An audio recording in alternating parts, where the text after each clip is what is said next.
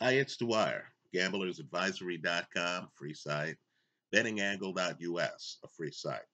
Today is fight day, May the 4th, 2019. Let's talk about yesterday's weigh-in in the Canelo Jacobs matchup. But first, remember, the opinion you should follow should be your own. Just consider this video to be a second opinion from a complete stranger online. Let's ask a basic question. Is anyone really a middleweight today? I thought both guys, Canelo and Jacobs, looked like they needed a meal at yesterday's weigh-in, right? Both guys were way too thin. You could tell both guys had to drop several pounds to show up in the condition that they did at yesterday's weigh-in. Just look at the chin and neck areas on both guys. I'll be surprised, and I was tracking their weights. I know Canelo was in the 160s for a while, but I'll be surprised if either guy shows up weighing less than 170 pounds for the fight, right? Both guys are going to gain a lot of weight. So, from my perspective, and I'm biased, right? I'm hoping for a stoppage that would maximize my profits. From my perspective, neither guy is in great shape. I know they looked in great shape, but when you're yo yoing weight, in my opinion, you just don't have the stamina. I know this happens in almost every fight. I understand that cutting weight is part of boxing folklore right? I'm just telling you that I've been watching the sport long enough to notice that the Manny Pacquiao's and the Floyd Mayweathers, the guys who are actually at the weight that the fight's happening, right? The guys who, you know, don't have to train that hard to make weight. The guys who show up at weigh-ins, Bernard Hopkins when he was a middleweight, sometimes one, two, three pounds below the weight limit. Those are the guys who are in shape who have the stamina. The guys who have to cut weight, cut 10 pounds, etc. Those are the guys who aren't in the best of shape, right? I'm just telling you that it's remarkable that Danny Jacobs, is able to make 160. This is a guy who's over six feet tall, right? You saw how he does it at yesterday's weigh in. He was so thin here, didn't look like himself in the neck area. Same thing applies to Canelo. I remember when Canelo used to have body fat. Now Canelo has no body fat. Now you're seeing every ab Canelo has. Right? So forgive me. To me, what I saw at yesterday's weigh in increases the odds of a stoppage. I think these guys are going to gain weight.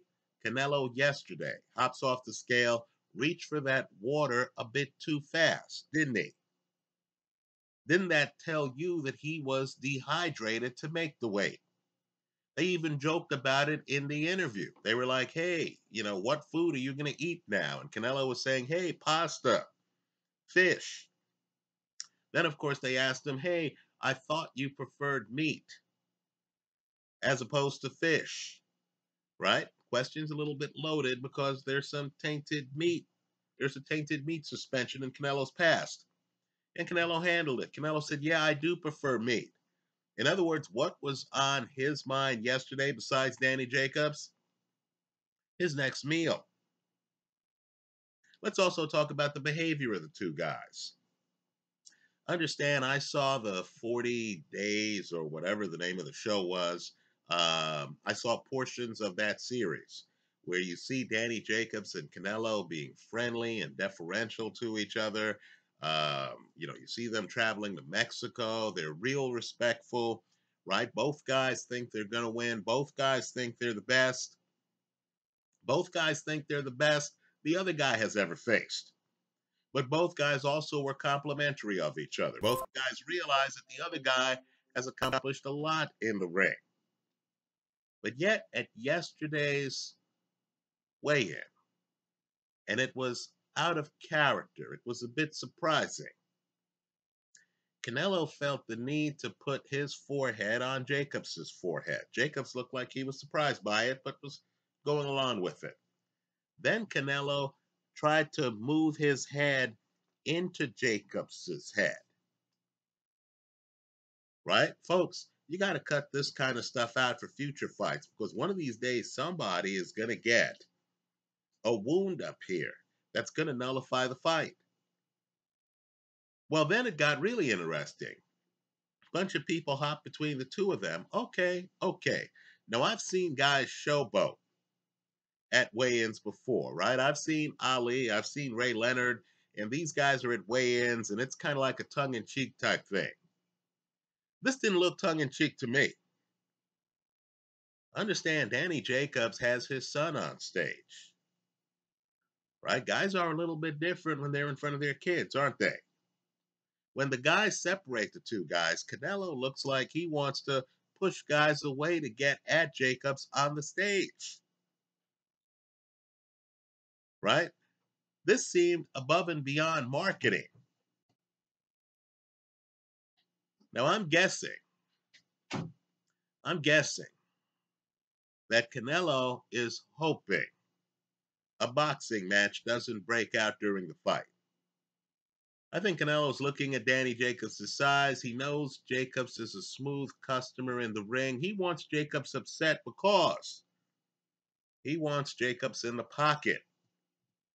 He doesn't want to have to go find Jacobs. He wants Jacobs to try to find him.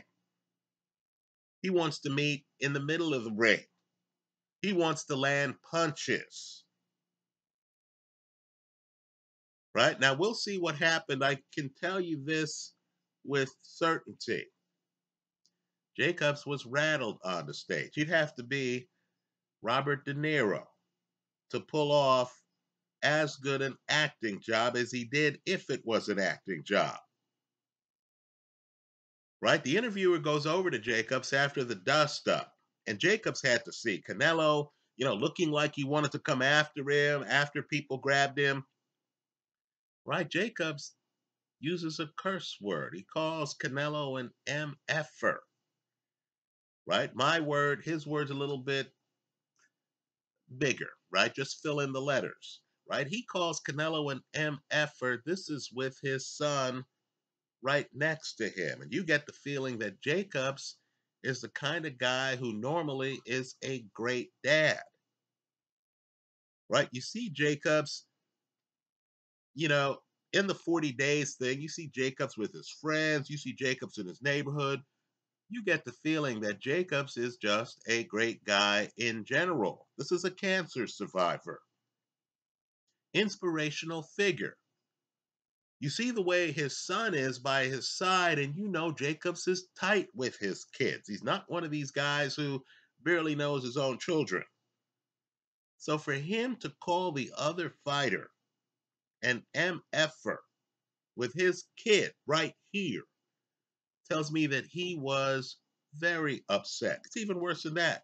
As he walks off the stage, a reporter comes over to him with a mic. Now, understand, to get on stage at a weigh in for a fight of this magnitude, you need real credentials. So, this is a reporter from some heavy duty media outlet. And Jacobs waves off the reporter. He's too upset after his initial interview, where he curses with his kid there. He's too upset to talk to the reporter. So I believe there's a sense of betrayal in this fight. Right? These are guys who were complimentary of each other, who were basically saying, look, I want the best legacy I can have. To get that, I need to fight the best, and that means fighting this man in front of me. Well, now it's more of a hey, you tried to punk me in front of my kid at the weigh in with some bully move. So, To sum up, I don't think either guy, and I know they look magnificent, I don't think either guy is a legitimate middleweight. To me, they both look weight drained. Right? Canelo's a guy who takes parts of rounds off as it is. I think both guys are going to be much heavier on fight night. I'm curious today to see if Jacobs meets the rehydration clause that limits the amount of weight he can gain after the weigh-in, before the rehydration weigh, uh, weigh-in. Right? Both of these guys are going to be gaining a lot of pounds after this weigh-in. That's the first thing. The second thing is I can tell Canelo, in my opinion, wants a stoppage. He's trying to anger his opponent to get his opponent into a shootout. Right? Jacobs is going to have to keep a cool head. In my opinion, if he does, he could easily live behind a jab and beat Canelo. So we'll see what happens. I encourage you to look at the weigh in. DAZN has done an excellent job. Yes, I'm pubbing DAZN. They're not paying me or anything like that, but I want to see the success of the sport. I want to see the success of the platform. I like the idea of having a platform that gives you a way around paying expensive pay per view fees. DAZN's done an excellent job actually having the weigh in as something you can watch on demand. I would encourage everyone to give it a look. The way I'm playing this fight is I think the big underdog, and by the way, a lot of money's flowing on Canelo now. I think the big underdog, Danny Jacobs, is the better fighter. Let me just be clear on that. I like Jacobs to win hedged with the under 10 and a half rounds. This way, if either guy gets a stoppage inside of the midway point of the 11th round, you win. If Danny Jacobs wins a decision or gets a stoppage after the midway point of the 11th round, if he gets a stoppage at any time, you win. But understand the risk involved. This is Canelo in Las Vegas. If Canelo gets a very late stoppage, right, after the midway point of the 11th, or if Canelo wins on the scorecards, you lose it all. That's how I see it. Let me hear from you. I hope you leave your comments in the comment section of this video. Let's hope it's a great fight. Thanks for stopping by.